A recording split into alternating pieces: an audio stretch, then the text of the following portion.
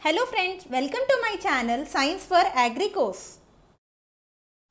Friends, this video is about the nutrients, its role in plants, deficiency symptoms and toxicity symptoms. This topic is very much important in examination point of view. So I have compiled all the important points. Note down the important points while watching the video so that it will be helpful for your preparation. Watch the video till end to get benefited and give your comments in the comment section. Now let's start the video. Let's start now with nitrogen. Nitrogen and its role in plants. It encourages vegetative growth, it imparts green color to the plants, it is an essential constituent of protein and plays an important role in the synthesis of auxin. The deficiency symptoms are usually lower leaves turn yellow or light green and V-shaped chlorosis is noticed on older leaves, yellowing at the tip. The disease or disorder due to nitrogen deficiency is starvation disease and next one is important one buttoning in cauliflower. The toxicity is extreme dark green color leaves are noticed on the plant. Now let us learn about phosphorus. Phosphorus enhances new cell formation in the plants. It is an essential constituent of nucleic acid and phytin. It is required for grain formation. It is required for maturity of grains and it helps in energy transfer like ATP and ADP. Deficiency symptoms usually dark green color in leaves is noticed, bronzing appearance on older leaves and red purple discoloration on leaves of maize. The disorder is sickle leaf disease. Toxicity symptoms excess of phosphorus interferes with the plant absorption of iron, manganese and zinc. Now let us learn about other nutrient that is potassium. Potassium is known to involve in the stomata regulation. The next point is very important. It provides disease and drought tolerance in plants or it, it provides the disease resistance. Next, it involves in the formation and translocation of sugars. It helps in reducing the transpiration rate and increasing the photosynthetic rate. It acts as a cofactor for many enzymes.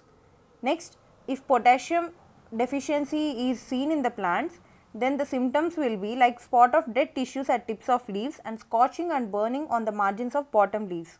Disease or disorder is rosette or dieback disease is usually associated with potassium deficiency. Toxicity, too much of potassium leads to nitrogen deficiency. Now calcium. Calcium is the constituent of cell wall, usually terminal bud dies in case of calcium deficiency the disease or disorder is tip hooking and curled margins on leaves and blossom end rot in tomato. Toxicity affects uptake of other nutrients. Then magnesium. You all know that magnesium is a central atom of chlorophyll. Deficiency symptoms are mottling and chlorosis of leaves, reddish upward curling of leaves. The disease due to magnesium deficiency is sand drown disease in tobacco. Toxicity symptoms usually leaf size will be reduced and overall growth will be stunted. Next sulfur. Sulfur improves oil content in oil seeds and improves protein content in pulses. So, it is most important for oil seeds and pulse crops. This is an important objective and it is an essential constituent of amino acid like cystine, cysteine and methionine. Control is spraying of thiourea which uh, it is helpful to control the deficiency of nitrogen and sulfur together. The deficiency symptoms are usually similar to nitrogen deficiency, but no spots are seen on the young leaves. Leaves turn pale green or light yellow. The disease due to sulfur deficiency is tea yellow disease and excess of hydrogen sulfide causes Akiochi disease in rice. Now let us learn about iron. It acts as an enzyme in oxidation reduction process. It acts as oxygen carrier in the process of respiration. It is essential for nitrogen fixation as it is a catalyst of chlorophyll synthesis. The deficiency symptoms are interveinal chlorosis, yellowing of leaves and scorching of leaf margins. The disorder is iron chlorosis in groundnut.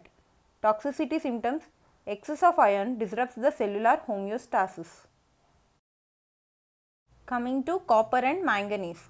Copper is essential for photosynthesis or respiration. It is a compound of plastocyanin Deficiency symptoms are rosetting and excess gumming, chlorosis of tips and margins of young leaves. The diseases that are associated with copper deficiency are gummosis and exanthema disease of citrus, dieback and reclamation disease of citrus. Next coming to manganese, it is a cofactor of enzyme and it is essential for formation of chlorophyll. Deficiency symptoms are leaf chlorosis but smaller vein is green and dead spot on the leaves.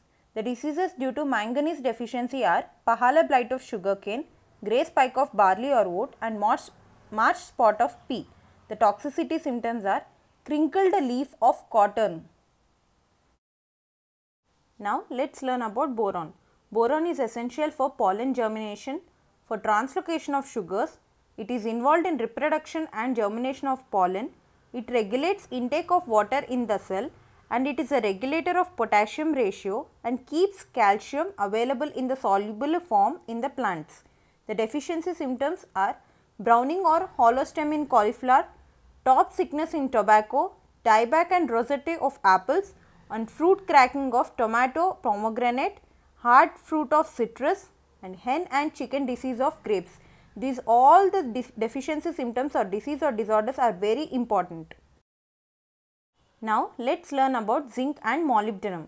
Zinc is essential for the biosynthesis of hormones. The deficiency symptoms or disease or disorder due to deficiency are rosette formation, white bud of maize, khaira disease of rice, little leaf of cotton and apple, mottle leaf of citrus.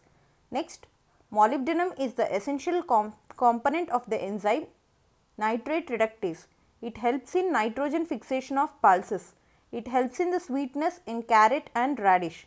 Deficiency symptoms usually molybdenum deficiency causes whip tail in cauliflower. Friends, for more important videos like this, subscribe to the channel Science for Agricos and if you want to suggest any important topics to make a video like this, you can comment in the comment section. If you find the video to be useful, like the video, share it with your friends and subscribe to the channel Science for Agricos for more useful content. Follow us on Instagram and Facebook.